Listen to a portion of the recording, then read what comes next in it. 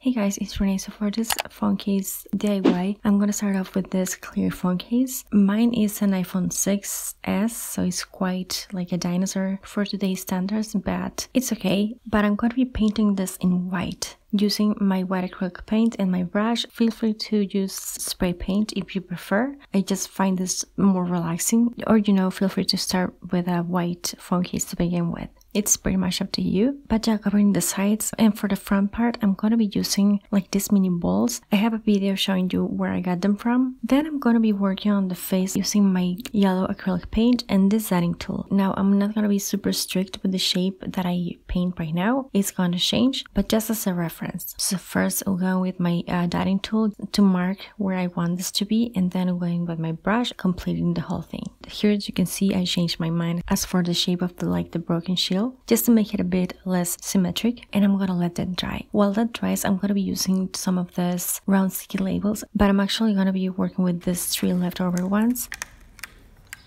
first painting them in white. Once they're getting dry, I'm going to be cleaning up the edges of like the acrylic paint that went all over the edges. Then I'm going to be taking some black acrylic paint and this nail polish is by Sally Hansen, but pretty much painting the cap and then just painting the eyes. I'm going to leave a like half moon of the white part visible and then painting the rest. And then again with my dotting tool to just clean the excess paint that went all over the edges. I do have the DIY for the dotting tool, by the way, if you want to check it out. I'm going to be gluing this. I do have the review for this super glue if you want to check it out. Adding a small drop in the middle and I wish I had added more glue towards the edges. At the end, I'm going to show you why. Then I'll add some details for the eyes with my two dotting tools. I do have the DIY for both, adding two big dots on top and then two at the bottom. I'm going to be painting the beak. It's pretty much a triangle, so I'm going to be using my uh, orange acrylic paint. I can go with my small dotting tool just mark where I want it to be, connect those dots with my detail brush and then just fill it. And I suggest to just start small and then just go from there based on the size of your phone case and all that stuff. Then I'm going to be using some yellow, pink, teal, purple and white and my mixer and my mixing thing. And I'm going to be making all these colors pastel-ish or just Easter by adding some white. And this is kind of like the creative part of the Easter egg, pretty much up to you and your personal taste. For me, I didn't know what design I wanted to go for. So I just first added some dots and I'm just sharing with you this just in case you like how it looks. I mean, it looks cute, but, but I wanted something else. So I just changed my mind. I grabbed one of these round sponges and before my dots fully dried, I just removed them. I went for the multicolor gradient effect where you place all the colors all over the place and you overlap them. Doing this with my brush, helping myself with the sponge, going back and forth with each color and I think it looks really cute. I actually prefer this design so much more than the dots and I prefer this so much more than the dots. Again, it's pretty much personal preference. Some people actually don't like this design, they find it overwhelming and they like cleaner designs, but that's okay because this is where you choose your own style. I actually love it, but that made a mess obviously and kind of like erased my uh, broken shield and I had to paint that again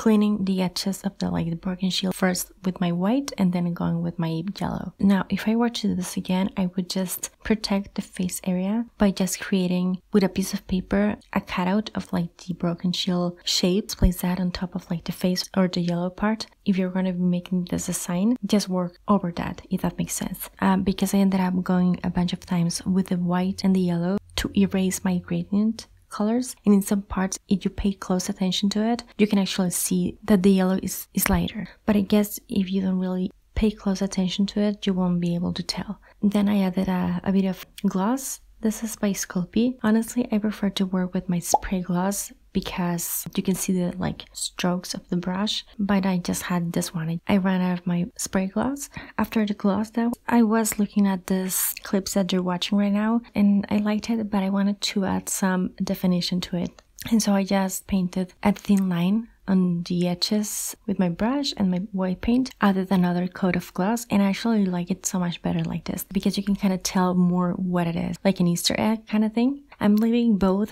so you can see uh, the difference and which one you like the most. I really like it. I think it looks so cute. I like how colorful and fun this one is. This little guy is really fun to look at. If you have a name suggestion for this one, let me know. Again, if you pay close attention to all those details, you can see like the eyes and then just the gloss strokes. But I like it still. Something fun that I wanted to try for Easter and I really hope you like it too. If you did, don't forget to give this video a thumbs up, check out more phone case ideas that I have done, and share this. Thank you so much for watching, I'll talk to you later and take care. Bye!